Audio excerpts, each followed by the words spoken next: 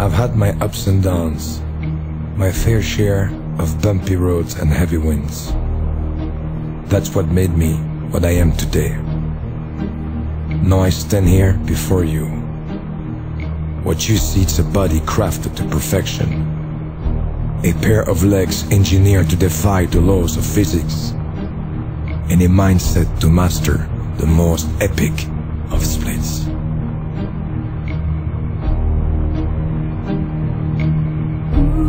Watch the pressure on his his hamstring, his shoulders, his groin, his groin, his groin.